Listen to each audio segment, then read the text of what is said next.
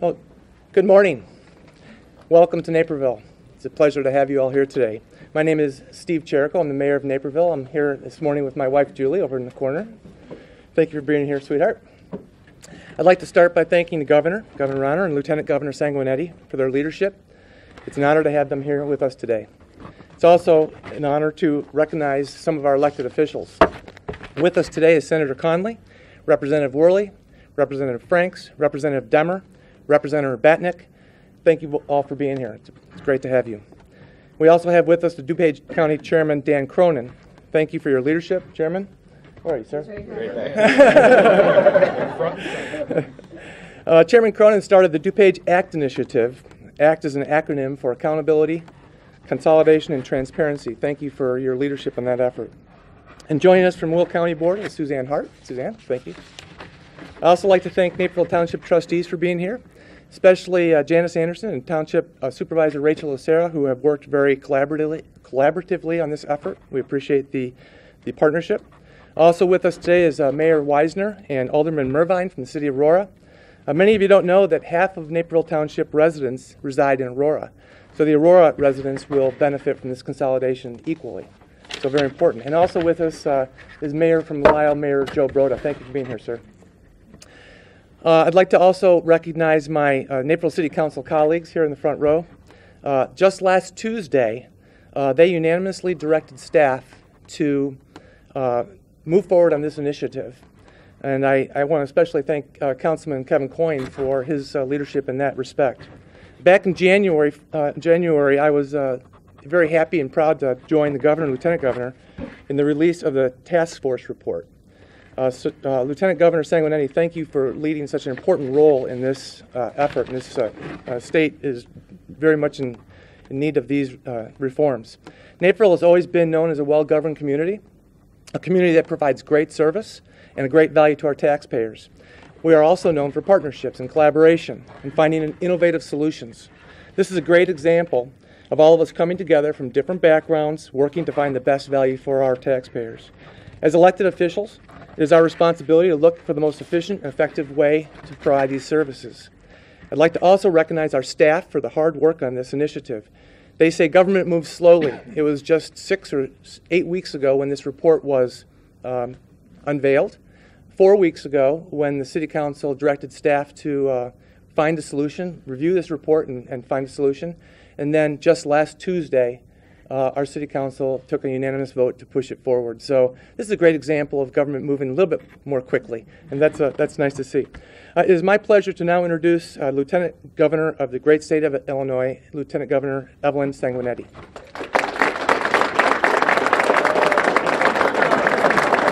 Thank you, Mayor. Is there a way to do this? Just understand that our governor, who's six foot four, gets it last. So I don't want to go too hard on this. Um, so good morning. It's so great to be here um, on my stomping ground, DuPage County, and with my good friends here in Naperville. I'm looking over to my left, um, and I see members of my task force.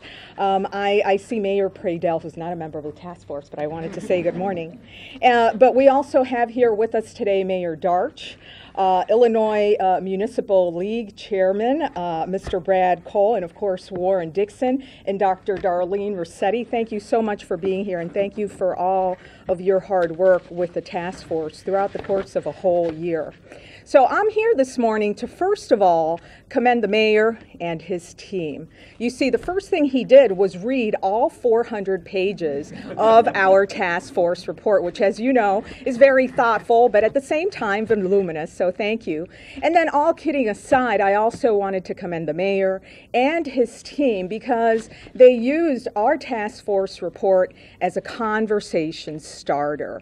They took a look at issues that we took a look at as a task force throughout the course of an entire year. Issues such as township road mileage and intergovernmental cooperation.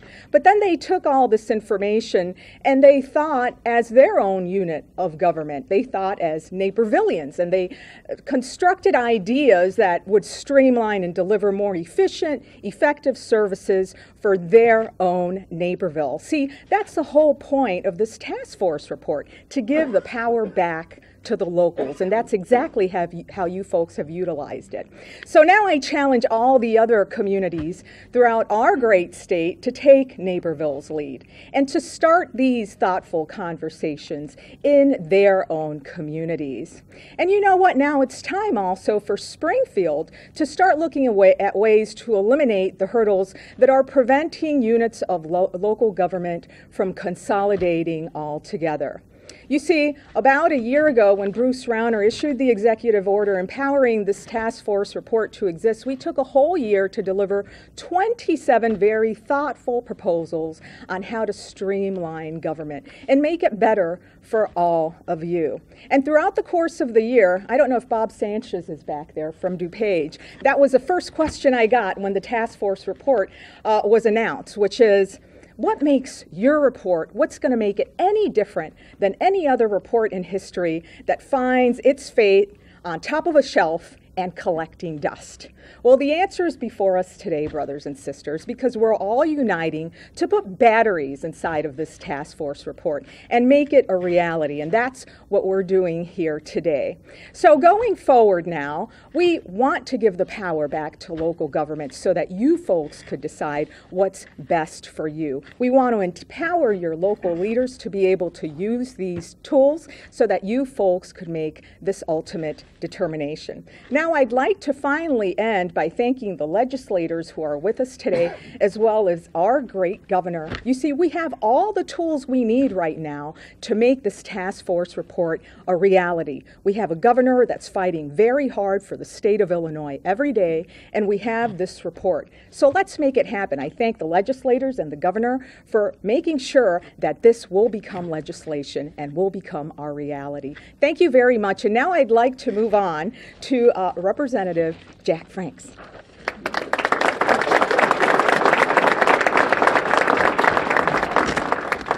I'll leave it where it is. Good morning. I'd first like to thank uh, the Lieutenant Governor for her leadership and Governor Rauner for creating the task force.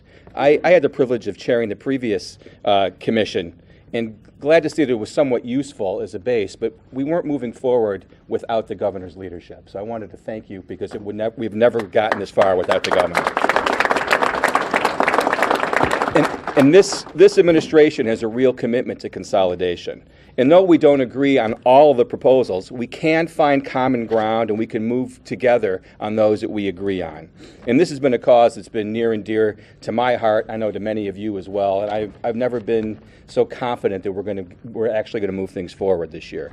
And our present system of 7,000 governments is simply unsustainable. It's also a big reason why we have the second highest property taxes in the nation.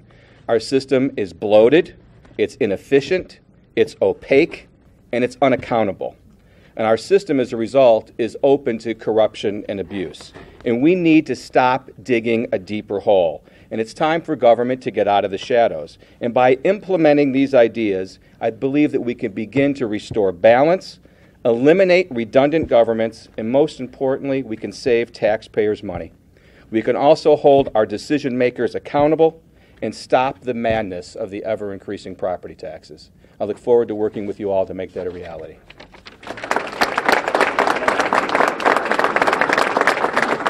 Oh, I'm sorry.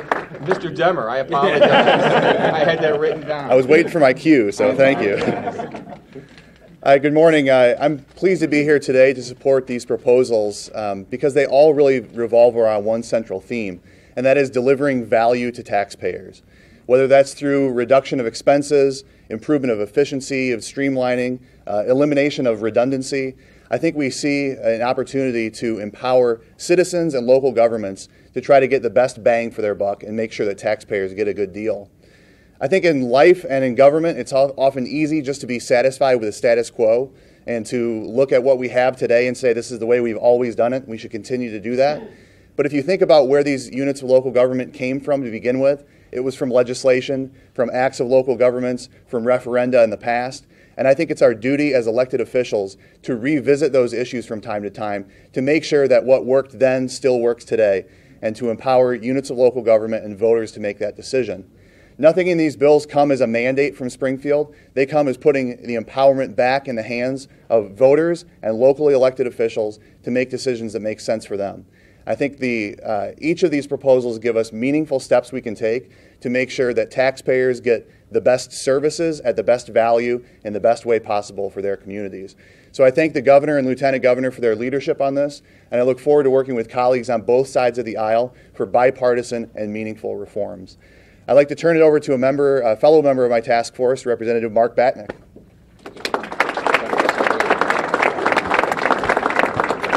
Um, I'm excited to be here today. I want to thank the governor and the lieutenant governor's leadership on the committee. It was an honor to be on the committee. Um, little inside baseball when we're down in Springfield and I have my speak button hit to, to talk about a bill, sometimes we don't know what the order is going to come up. And sometimes Representative Demmer comes up before me, which is when I often turn my speak button off because he says things so eloquently. So, taking a lot of my points. So, I'm going to make this efficient because this is about efficiencies a lot of uh, you hear a lot of talk about do we cut services or do we raise taxes we don't have to do either it, just spending one year in springfield what i realize is that there's a lot of inefficiencies in the way we do things and that's what this task force is, is about so we, we do have the opportunity to provide the necessary services that we need to to the citizens with, without having to raise taxes in order to do it. And that's, that's what this is about. And a lot of these issues are low hanging fruit, bipartisan issues, and are things that the uh, legislator should be taking up very quickly. So thank you very much for your time, and I will turn it over to Senator Connelly. Thank you, Thank you, thank you, Representative Batinick, and, and thank you for being here in the 21st Senate District. I want to thank Jack Franks for dressing up today for the occasion.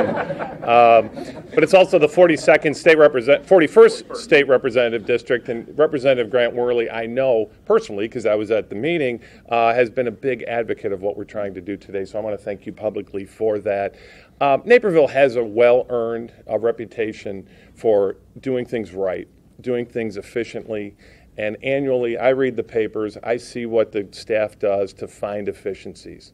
But more importantly, out here on Warrenville Road, BP Amoco, Lucent Technologies, I know this firsthand, former Lucent employee over there, Dick Furstenau, uh, they're required to find efficiencies every year. Middle management is told, find 15%. Not if you can.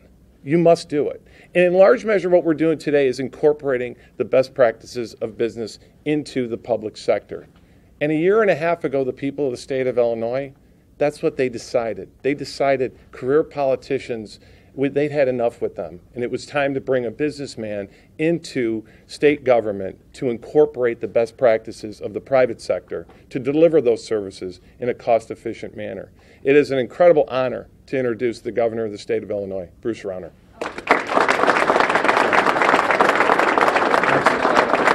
Morning. Good morning. Thank you. Thank you all for being here. This is a very, very good day for the people of Illinois. It's a privilege for me to be standing here with these uh, members of the General Assembly. It's an honor for me to work with them. Thank you for all of you who believe in good government. Thanks for participating. Everybody who participated in the task force on government consolidation and the unfunded mandate relief, thank you for your work. It's a great team effort by hundreds of people all over the great state of Illinois. This today is a great day because it's about giving power back to the people of Illinois, to the people at the local level in their communities, to get power over the, co- the costs of government that they deal with every day. Um, in Springfield, the debate is raging do we cut ser- services or raise taxes? Do we cut services or raise taxes? That shouldn't really be the conversation. It should be how do we shrink the bureaucracy, shrink the cost of government so we can put more money into our human services, into our school system, which for me is the number one priority, and how do we grow our tax revenue not through tax increases, but through a more growing economy? That's got to be the conversation. We need to change the focus. Higher tax rates or fewer services? No. It's about empowering taxpayers and our competitiveness and growing our economy and shrinking the government bureaucracy so we can put the money into our schools and into our social services. That's the key to the long term prosperity for our state. That's what this task force report is about. Now, that the, uh, the task force recommended 27 points of action that we could take. Some are more controversial than others, some are harder to implement than others. It's okay. Um, change is hard, change takes time. We've picked out four pieces of legislation that we're proposing right now We're proposing four bills led by the uh, members of the General Assembly right here today. Those four bills encompass eight of the 27 points. Eight of the 27 points are encompassed in these four pieces of legislation. This doesn't mean we're giving up on the other um, 19. We're not at all. We're drafting those bills as we speak. Uh, we, you know, what we'd like to do is get some successes and walk before we run. There's, we've got bipartisan agreement on these. Let's get them done. Let's start the process of saving taxpayers' money. Let's win this fight to protect the taxpayers of Illinois. Let's win the battle to make Illinois more competitive. And for those who might be tempted to say, Governor, these efforts around consolidation or mandates or workers' comp or tort reform or those are all, those are, you know, they don't relate to the budget. We don't want to talk about them let's be clear. This is directly about the state budget. Directly. If we can relieve taxpayer burden at the local level on property taxes for our working families and for our small business owners, our small business owners can find it easier to grow and invest. And, and when they invest and grow, that's more tax revenue for the state without raising rates. It comes through growth. And if we can shrink the bureaucracy and reduce the tax burden, it's going to be much easier to have confidence in the business community. So when I travel the nation and travel the world on my nickel recruiting companies to come to Illinois, they'll have more confidence that Illinois is on a track of being competitive, that the tax burden is not going to be crushing them if they came and invested here. We can expand our tax base and grow our state tax revenue. It's directly tied to the budget. Anybody who says otherwise is not dealing with the, the with the reality of the situation. And we've got to change the conversation. It's not about higher rates or fewer services, it's about growth. And it's about fighting for value for taxpayers, protecting our homeowners, protecting our small business owners, and we will have a prosperous future. We have the hardest working people in America here. We have the best location of any state in America right here. We can be building a wonderful future. We're going to do it together. This is one step in that direction. Thank you all. Bless you. Appreciate it. Let's go get these bills passed. Thank you very much, everybody.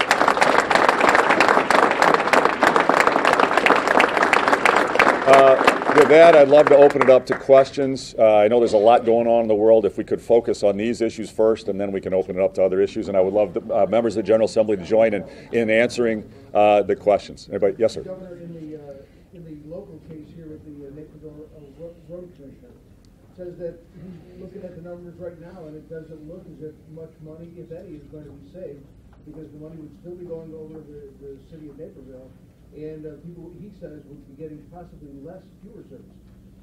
Uh, anybody want to talk about this specific? Sure. Yeah, uh, you know, the, the numbers prove out pretty well, and, uh, you know, we've presented the information to the, uh, to the township. There's a, the quote from the city of Naperville is $1 million to handle all the road services for the Naperville Township residents. Uh, the current budget is 1.86 million. So it's about a 43% uh, tax credit. And the interesting thing is, is that is across all of the Naperville residents, not just the unincorporated folks. It is true that uh, some of the services that the unincorporated residents will be reduced slightly to the same norm that the uh, incorporated residents receive. Uh, I think that's fair and equitable. Uh, that's certainly the way that um, we would only propose it that way, to make sure it's the same level of service. But the numbers uh, are very simple to, to prove out, and so uh, um, that's, that's, those are just the facts of it. Sorry, what's that? What? Want to? Is that something you should talk about? You want to talk about that right now? Sure, I can take this call.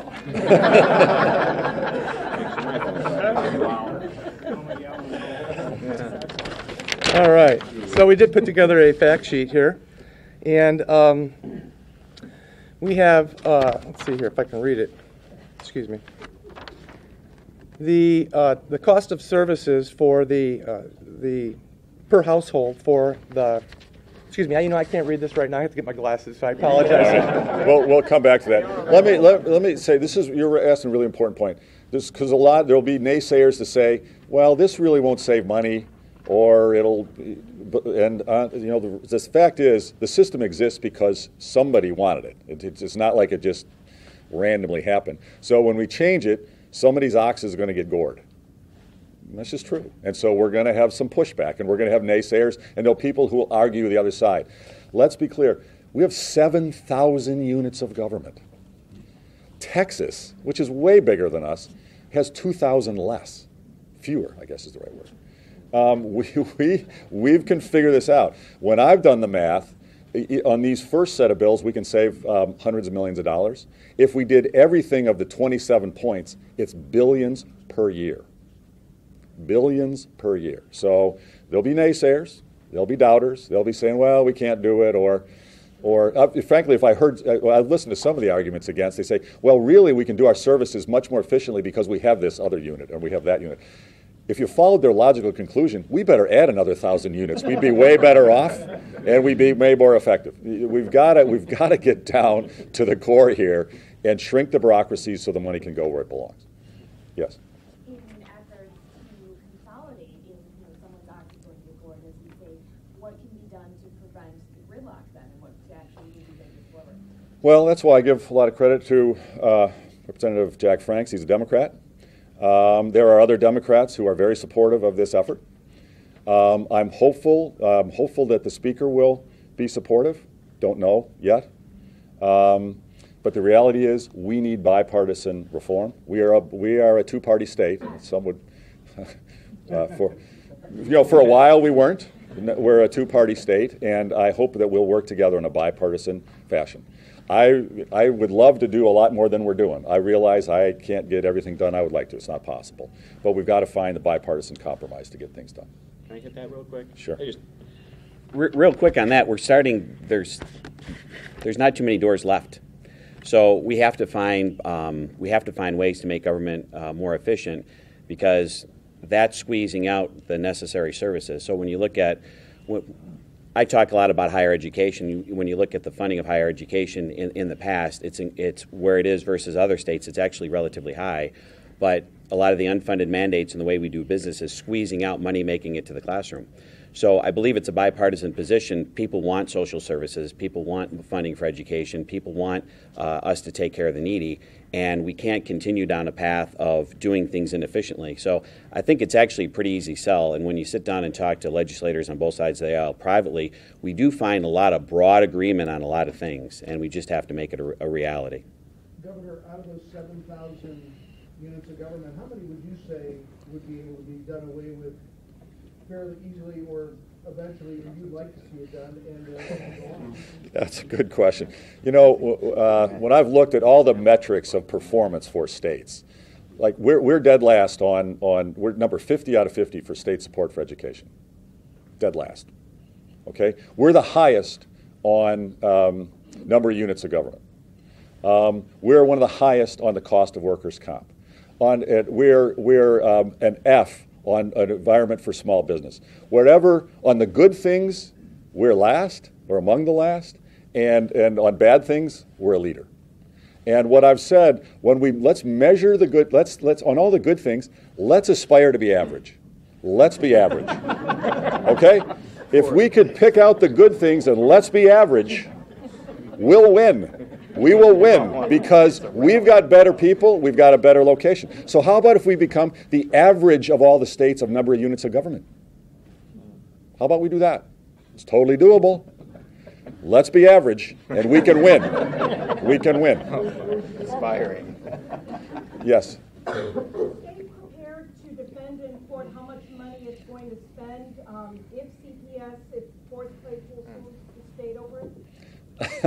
Um, I'll say this education funding in Illinois is broken.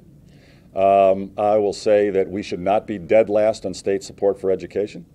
I have said from, for three years that we should increase state support for education and we should focus it more on lower income districts and uh, more rural districts.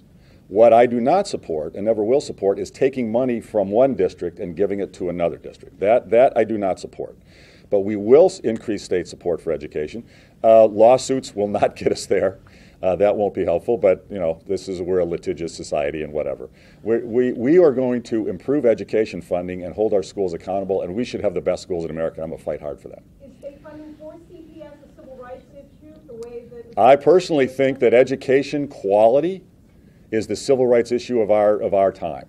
That's my personal belief. It's not just about CPS. You know, there are folks. Uh, there are folks in Chicago who want to say Chicago's different. Chicago's special. we should be treated different. No. There are low income students, there are minority students in Rockford and in Decatur and East St. Louis and Harvey. And you know what? Chicago doesn't di- get to dictate terms. We have a state of great people. We work for every child in every community, and we're going to make sure that happens. Yes. Question for the mayor.